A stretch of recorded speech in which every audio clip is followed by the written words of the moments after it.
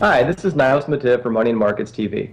Last week I went over the various types of individual retirement accounts, or IRAs, that are available to investors.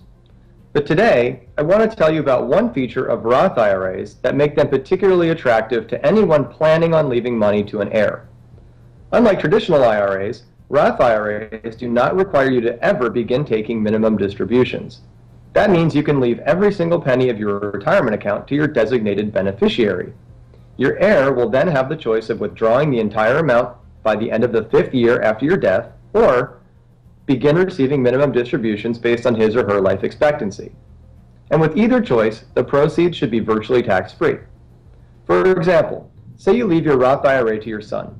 If he decides to take minimum distributions, the IRS will divide the value of your account by the number of years your son is likely to live, and then they pay out the resulting figure annually. Now, imagine if you loaded up your Roth IRA with stocks that steadily increase their dividends.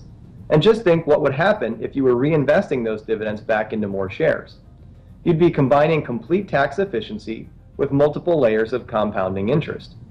With enough time, you could leave behind a nest egg that rises faster than the rate of your heir's mandatory withdrawals.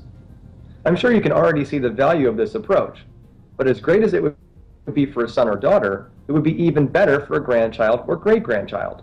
After all, those minimum distributions are calculated based on the recipient's age. The younger he or she is, the less money comes out every year, and the longer the account can grow. Obviously, this plan only works if the beneficiary agrees to opt for the minimum annual distribution, rather than withdrawing the entire value of the account. But if you have an heir you can count on, I consider this one of the smartest strategies you can possibly pursue. If you're eligible for a Roth IRA, take advantage of it.